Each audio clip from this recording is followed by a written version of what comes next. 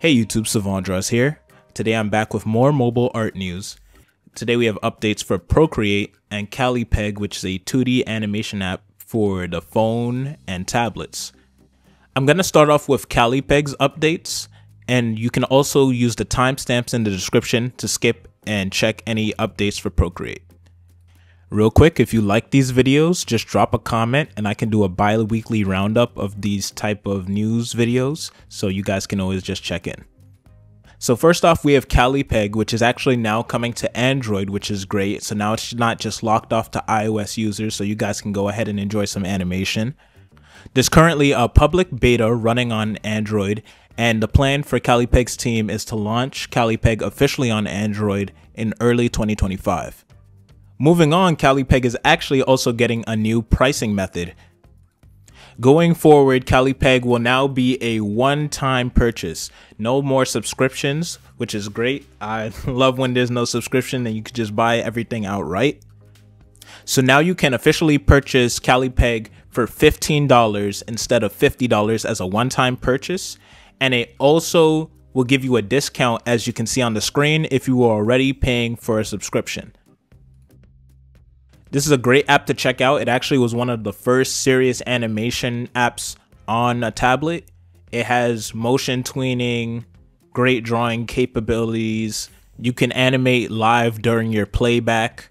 It has a great radio wheel for speeding up your animation process by giving you some shortcuts, which is something we don't see on mobile all too often.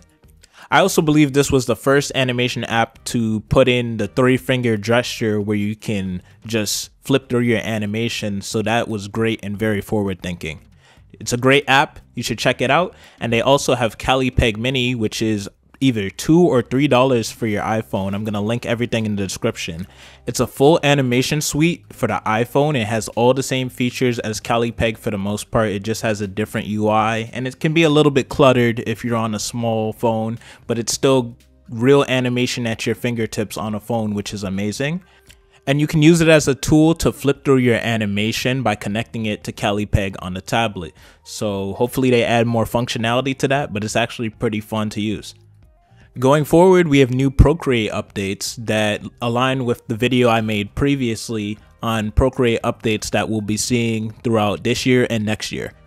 So today we finally got the ability to not only group, but we can finally ungroup our layers, which is something we should have had a while ago, but I'm still glad to see it happen. We also got some bug fixes which you can read on screen and going forward, they state that they're well into their Brush Studio update that they're planning to release later this year. This isn't a huge update, but it's good to see that Procreate is actually getting updates like they promised this year, as it's really late in the year and they never disclose when they're dropping an update.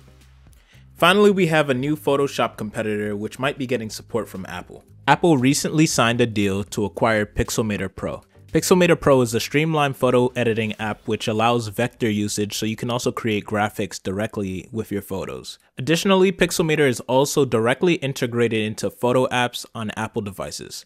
It has a nice UI like Keynote and I feel like it's good for beginners though I haven't used it myself. If you want to jump in, they already have two apps for the iPad, Pixelmator and Photomator. You can also get Pixelmator Pro on the Mac. That's all for today's news cycle. If you enjoyed the video, please drop a like. And if you would like this series to continue on a more regular basis, just drop a comment to let me know. That's it. Have a good one.